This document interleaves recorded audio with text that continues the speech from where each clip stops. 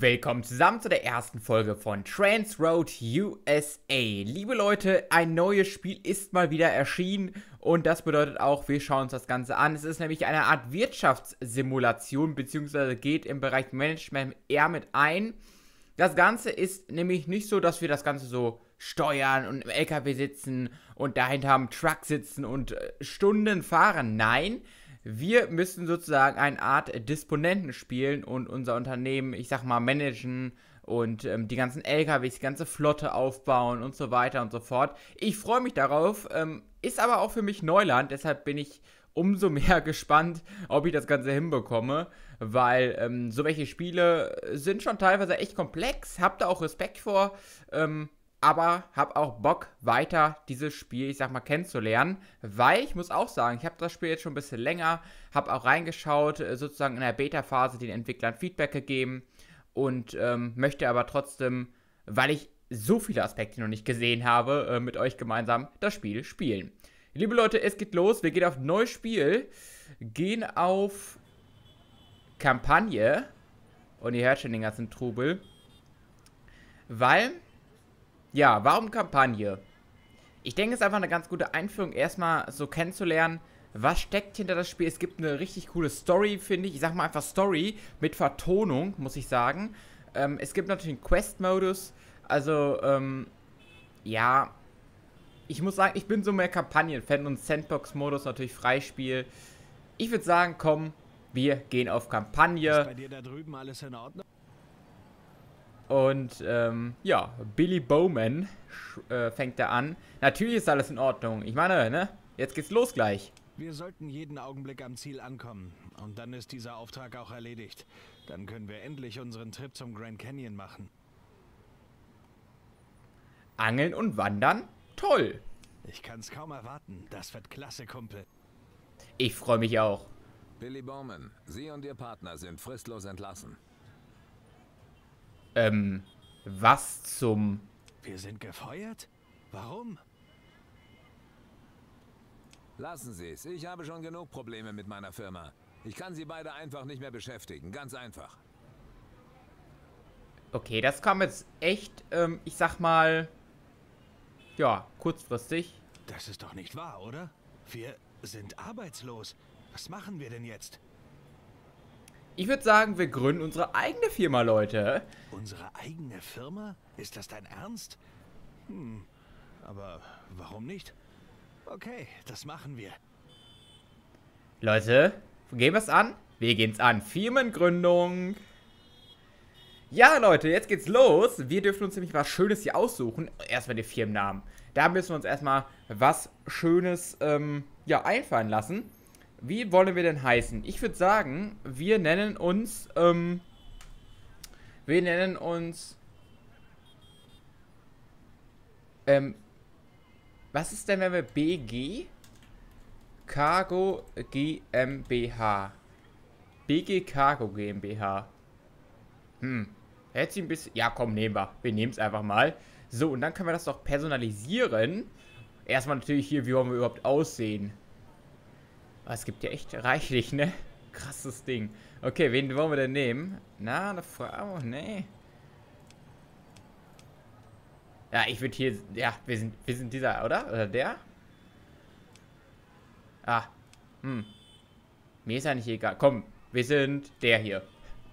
Dann müssen wir gucken, welches Logo wollen wir haben. Ich würde sagen, was mit Cargo zu tun hat. Das Ding ist... Müssen wir mal schauen. Mit, bei sowas lasse ich mir immer ein bisschen Zeit, weil das muss ja auch schön sein. Oder wir nehmen einfach, genau, ich habe die Idee, wir nehmen die Fast Cargo GmbH, dann passt das auch mit dem Logo, wisst ihr? Das ist doch cool. Okay? Machen wir. So, dann nehmen wir natürlich die Farben. Das Rot gefällt mir ganz gut, muss ich sagen. Das machen wir. Dann nehmen wir noch die Farben des Trailers. Oder der Flotte. Äh, ah ne, das sind die Streifen, okay. Und das ist äh, vom LKW, sorry. Ja, ich würde sagen, das war schon nicht schlecht. Das war schon nicht schlecht. Nee. Schlicht ist immer gut, oder? Was meint ihr? Es passt natürlich irgendwie zu BG, ne? Diese, ich sag mal, Flammen da drauf. Das ist schon mega nice. Aber eigentlich lieber neutral, oder? Oder was meint ihr? Oder das? Oder das? Ja, das, das sticht so ein bisschen. Ich würde sagen, das ist auch nicht schlecht, oder? Oh, wir nehmen es neutral. Okay. Spiel starten, Leute. Es geht los. Also, wo fangen wir an? Ein Hauptquartier wäre nicht schlecht. Am besten in unserer Heimatstadt oben im Nordosten, Augusta, Maine. Okay. Die Vertonung ist ein bisschen abgehakt teilweise. Ich muss dazu sagen, eins, also es wird nicht richtig actionreich. Ihr müsst euch vorstellen, wir sitzen in so einer Zentrale, ich sitze hier vor meinem Bildschirm und bin am Managen. Ich, ich, ja, ich habe sozusagen Kontakt mit meinen Fahrern, sage, okay, Leute, holt mal hier eine Fracht ab, da eine Fracht ab, muss nebenbei noch Marketing betreiben, hier und da. Also ich bin sozusagen Firmenchef und darf entscheiden, was hier so abgeht. Also, Leute, ich weiß nicht, es ist halt Geschmackssache, es ist für mich auch Neuland. Ähm, wer es lieber actionreicher mag, der ist, glaube ich, hier falsch. Ähm, es ist halt auch ein bisschen Entspannung, kann man sagen. Ähm, das sind die Macher von Transocean 2. Ähm, zum Beispiel Rivals war jetzt der letzte Teil. Ähm, ich muss sagen, da habe ich nicht reingeschaut, aber jetzt schaue ich hier rein. Okay, fortfahren. Der beantragte Kredit wurde gerade von der National Trucking Bank genehmigt. Mit dem Geld können wir uns das Grundstück und das Gebäude leisten. Okay, willkommen zur Einführung. Jederzeit während des Spielens möglich, wenn du detaillierte Informationen suchst, klicke in einem beliebigen Spielbildschirm auf die Fragezeichen-Schaltfläche, um den Leitfaden aufzurufen. Okay. Erstmal müssen wir den Standort deines Quartiers oder Hauptquartiers wählen. Ähm, Genau, je nach Stadt benötigen die Kunden verschiedene Anhängertypen für den Transport einer Fracht. Alles klar. Gut. Das Coole ist, es ist einfach mal auf Deutsch und da bin ich ja auch so ein Fan von. Ich meine, ich, ich kann Englisch, ja, schon. Ähm, aber es ist immer noch wie was Schönes, wenn man so Muttersprache, ähm, ich sag mal, drin hat im Spiel. Ja, ihr seht Augusta, da müssen wir hin. Hm, klicken wir drauf. Und dann müssen wir HQ platzieren. Und dann dürfte es gleich losgehen. Wir können auch reinzoomen, das heißt, wir sehen wirklich auch die Stadt. Ich sag mal, ich, ich kann jetzt wirklich reinzoomen, warte. Äh, ja, gerade nicht. Okay, erstmal haben wir schon eine Anhängerkonzeption zum Kauf. Ähm, seht ihr gleich, was wir dann haben. Also es ist schon... Ja, wir haben ein ziemlich gutes Gebäude gefunden. Und es kostet nur ein paar tausend Dollar. Okay, man muss auch sagen, wir haben jetzt einen Kredit beantragt. Das ist Zum Glück gehört mir der Truck, den ich bei Gordon Fox Trucking gefahren bin. Wir können ihn sofort einsetzen. Er steht schon in unserem Depot. Okay. Vielleicht könnt ihr euch so das vorstellen wie 911 Operator. So könnte ich das ein bisschen vorstellen. Das ist aber wirklich noch ein bisschen krasser hier. Also viel mehr Management. Ähm, halte uns hier die Karte, genau. Das ist äh, das, was ich meine. Ähm, und jetzt können wir hier rein und rauszoomen. Ich kann gleich auch sozusagen den LKWs folgen, wo die genau hinfahren. Wir können sozusagen eine Verfolgerkamera haben. Das ist schon ganz cool.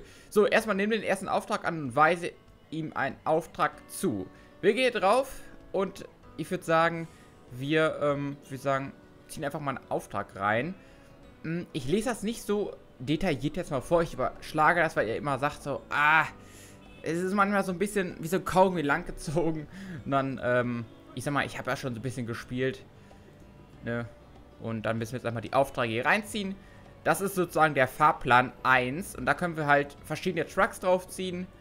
Ähm, wir werden jetzt erstmal erstmal einen machen, damit wir auch das in der vorgegebenen Zeit, wir haben drei Tage dafür Zeit, schaffen. Wir müssen zwei Fahrten machen. Gehen auf Änderung bestätigen. Dann unterschreiben wir das Ganze. Zack. Und dann werden wir erstmal den ähm, Fahrer, ich weiß gar nicht, wer das genau ist. Wahrscheinlich mein Kollege. Genau.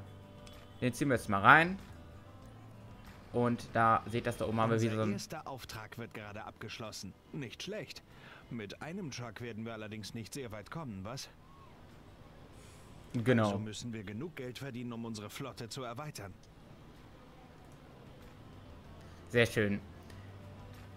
Das bedeutet, wir gehen auf OK. Diese Ansicht ist die Truck-Verfolgungskamera. Genau, das ist, was ich meine. Und zwar, da haben wir das gute Ding. Wir können richtig reinzoomen. Ähm, teilweise muss man sagen... Ah, Moment, genau oben rechts kann ich das Ganze stoppen. Ich mache jetzt mal auf Stopp. Und zwar kann ich jetzt da hingehen. Es ist teilweise echt laggy, dieses Reingezoome. Ähm, ich kann hier drehen. Genau, kann die verfolgen. Moment. Ich kann das gerne mal machen. So. Zack. Und jetzt geht's auch weiter. Kann das hier auch drehen so ein bisschen. Aber unsere, ich sag mal, LKW-Flotte wird immer größer. Und das ist auch wirklich hier, schaut mal da, das ist richtig, das ist schon cool gemacht, muss ich schon sagen. Also, ähm, es sind schon viele coole Aspekte und Details dabei. Ähm, aber je größer unsere Flotte wird, desto weniger werden wir reinzoomen, weil Management steht hier an, ich sag mal, sehr großer Stelle. Ich sag mal, alles geht hier ums Management, dass unsere Firma läuft. Deshalb werde ich jetzt mal rauszoomen. Oder? Wir können jetzt auch ein bisschen vorspulen, das machen wir mal. Das machen wir mal. Wir gehen mal raus hier. Und dann gehe ich wieder hoch. Und da seht ihr das. Da haben wir äh, wieder das abgeschlossen. Und zwar haben wir Boston besucht und sozusagen freigeschaltet. Ähm, ihr seht das hier, der LKW, der kommt zurück. Und ihr seht jetzt... Moment. Der fährt noch eine Tour. Ich kann da draufklicken, können wir verfolgen. Aber wir haben jetzt Boston erkundet das erste Mal. Und da haben wir den Auftrag abgeschlossen. Sehr cool. Okay. Und ich sag mal, ihr seht es hier, ähm, schließt du den kompletten Auftrag pünktlich ab, ver äh, verbessert sich dein Ruf beim Abfahrtskunden und dem Kunden, der die Fracht erhält. Und ähm, je besser unser Ruf bei einer Firma wird, desto eher können wir, sag mal, Verträge annehmen. Oder desto eher lässt er uns natürlich fahren, weil wir Vertrauen aufbauen. Ne? Das ist ganz klar. Das ist das, was ich meine. Wenn du genug Rufpunkte bei dem, einem Kunden gesammelt hast, gibt er dir von sich aus Aufträge und außerdem besser bezahlte Aufträge für jeden Kundenlevel, den du aufsteigst. Sehr nice. Im Handelszentrum einer Stadt erhältst du jederzeit Aufträge für deinen Handels... Oder Anfangssattelzug, Entschuldigung. Okay. Das heißt, unser Truck steht jetzt da. Wir haben als nächstes, Moment, Aufgaben, kaufe einen Truck und Standardanhänger, beschäftige zwei Fahrer. Wir können jetzt erstmal sagen, beispielsweise der LKW steht jetzt hier, wir haben ja pausiert. Wir können sagen, Boston, okay, das hört sich ganz interessant an. Ähm, ja, machen wir sofort. Ich will nur eben, ich möchte das ganz zeigen. Lass uns den doch mal, ach, lass uns den wieder zurückschicken nach Augusta. Wir ziehen den rein. Dann schließen wir das Ganze ab. Ich kann natürlich noch mehr Fahrten hier machen, mache ich jetzt aber nicht, weil wir müssen natürlich auch in gewisser Zeit das schaffen und wir haben nur einen Fahrer. Das heißt, wir bestätigen das Ganze. Ziehen hier wieder rein.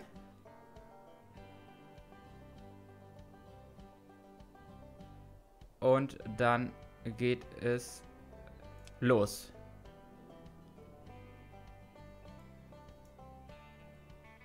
Genau, geht's los. Hat er gerade geladen. Und wir sehen auch da ein von zwei Fahrten.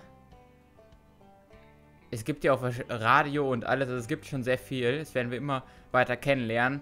Also, ihr dürft nicht überfordert sein. Oder doch? Ich war auch am Anfang ein bisschen überfordert, muss ich sagen, da wo es noch auf Englisch war. Ähm, okay, da haben wir es abgeschlossen. Sehr schön. Okay, wir machen jetzt aber... Oder ist es pausiert, wenn natürlich ein Truck steht? Das ist ganz klar, weil das kommt ihr wirklich nicht nach. Nachher passiert so viel. Ähm, und jetzt werden wir erstmal die Quest hier oder die Aufgaben machen. Und zwar kaufen wir uns erstmal einen Truck und beschäftigen noch einen weiteren Fahrer. Wir können das Ganze hier verkleinern. Ne? Also es ist schon sehr... Ich, also ich muss erstmal sagen, es gefällt mir so. Ähm, es gibt aber auch Spezialisten, denen ist das wahrscheinlich so... Einfach so viel zu viele Fenster und so weiter und so fort. Ähm, ich würde sagen, wir besuchen Bernie. Oder Bernie. Und, ähm, genau, werden dann erstmal LKWs kaufen. Ich muss sagen, zum gewissen Punkt habe ich dann auch nicht mehr die Kampagne weitergespielt, ähm, weil ich auch keine Zeit mehr hatte. Also die Beta-Phase ging gar nicht so lange, der äh, Beta-Test, glaube eine Woche ungefähr. Ähm, und da habe ich auch nur wirklich minimal gespielt. Jetzt danach habe ich noch ein bisschen reingeschaut. So, da haben wir die verschiedenen Trucks. Ähm, wir haben 158.000, der kostet 51.000. Ähm, wir können jetzt hier weiter durchgehen, aber ihr seht, das wird halt immer teurer. Ähm, ja, keine Ahnung. Also es ist, ich jetzt erstmal sagen, lass uns, lass uns mit dem kleinen Ding hier anfangen. Ähm, und wir benötigen auch natürlich Konzession für die ganzen, ich sag mal, Trailer. Und jetzt haben wir nur eine. Das heißt, wir können auch nur, ja, einen Trailer dranhängen. So, kaufen. Und wir brauchen natürlich noch einen äh, Fahrer, genau. Und das ist ganz cool gemacht. Wir haben verschiedene Bewerbungen und müssen natürlich schauen, okay, ähm, welcher Fahrer darf welchen Truck und äh, welchen Anhänger fahren. Na, das ist natürlich auch sehr wichtig. Und im Hauptquartier, ich sag mal, sehen wir das Ganze. Okay, Leute, wir schauen jetzt erstmal. Ähm, genau, das ist hier Kenny. Ich habe folgende Lizenzen. Ähm, Tieflader, Autoanhänger, Kippanhänger. Also, ne, muss man sagen, Tieflader, Autoanhänger, also er kann auch, ich sag mal, Standardanhänger fahren, muss man sagen. Aber das sieht ja schon mal ganz gut aus. Was möchte er? 780? Äh, 81. Es ist natürlich schon... Aber der hat natürlich auch mehr Lizenzen. Ne? Das heißt, da können wir demnächst... Das ist echt... Also da, da muss man sich schon Zeit nehmen.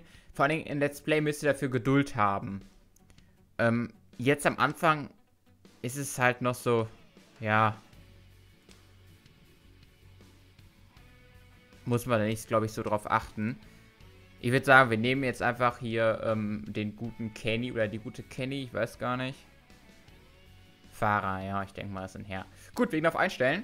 Und da seht ihr schon, beschäftige zwei Fahrer, haben wir gemacht. Wir sind aber noch nicht ganz fertig. Und zwar müssen wir einmal äh, noch einen... Genau, machen wir gleich. Wir müssen ja noch einen äh, Auflieger kaufen. Werden wir jetzt angehen. Ähm, und dann gehen wir auf Anhänger und kaufen uns so einen Standardanhänger. Da seht ihr schon, auch das ist cool gemacht. Und zwar ist das schon alles so mit unseren Logos versehen. Wie sie dann letztendlich aussehen, finde ich ganz nice. 34.000, also 34.000 Dollar sage ich jetzt mal, so 35.000 Dollar kostet das Ganze. Gehen wir auf ähm, Kaufen. Und dann gehen wir auf Kauf bestätigen. So. Sehr gut. Truck und Anhänger sind gekauft, ein neuer Fahrer eingestellt. Das sollte unsere Kasse zum Klingeln bringen. Okay. Aber das schaffen wir nicht mit kleinen Einzelaufträgen. Wir müssen Beziehungen zu Kunden aufbauen. Ja, Leute. Das bedeutet, wir müssen einmal erstmal... Wir müssen uns einen guten Ruf bei den Kunden erarbeiten, um bessere Fracht und mehr Langzeitaufträge zu erhalten. Richtig. Das bringt uns ein sicheres Einkommen. Zuerst sollten wir mehr Handelszentren in diesem Gebiet freischalten. Dann verbessert sich unsere Auftragsabdeckung und wir haben weniger Leerfahrten. Am besten wären Postlieferungen. Genau, ja, ja. Ich weiß. Wir müssen aber jetzt mal unseren Fahrer richtig einsetzen auf den Truck. Äh, ich schaue gerade mal. Äh. Nein. Also ihr seht, also ich bin auch noch ein ziemlicher Anfänger. Genau, da müssen wir nämlich drauf. Und da seht ihr das, Kenny Ma, den werden wir jetzt noch nicht draufziehen, weil... Genau, ich weiß. Ja, ich weiß doch. Ist er schon da? Okay, die LKW sind schon, oder der LKW der ähm, Anhänger oder der Auflieger ist schon, sind schon da, weil die werden auch dann erstmal dahin transportiert, muss man sagen. Das dauert auch ein bisschen. Aber in diesem Fall geht es jetzt schon. Super, das ist sehr schön wir müssen einmal drehen. Ich finde es, ah, so ist besser. Ähm, dann schauen wir mal, was unsere spezielle Aufgabe ist. Und das wäre jetzt zum Beispiel Besuche vier Städte. Das heißt, wir müssen in verschiedenen Städten hin. Also wir haben ja schon ähm, Boston jetzt, New York, Montpellier. Wir sind ganz nah, aber das ist eigentlich relativ, ich sag mal, egal. Ähm, wir gehen auf... Oh, was ist da? Ach, war der eine noch nicht fertig? Ach, der, es kann... Ach, stimmt. Ne, das ist... Wir machen mal auf Pause, genau. I, I, I, wir können jetzt erstmal suchen, wo ist der überhaupt, der Kollege. Aber... Der steht... in Augusta, meine ich.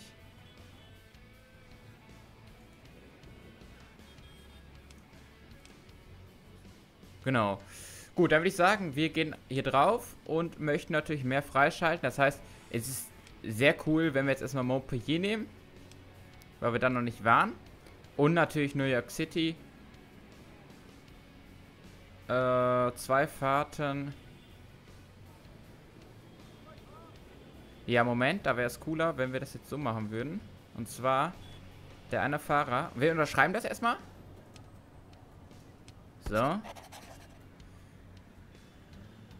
Und ziehen diesen Fahrer drauf, dass der schon mal starten kann.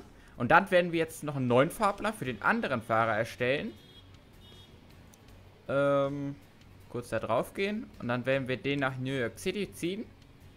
Weil es geht jetzt erstmal darum, dass wir die ganzen Städte freischalten, ne? damit wir weitere Aufgaben bekommen. Das ist halt Kampagne. Das finde ich ganz cool gemacht, dass man auch so ein bisschen unterstützt wird, dass man so ein Ziel vor Augen hat.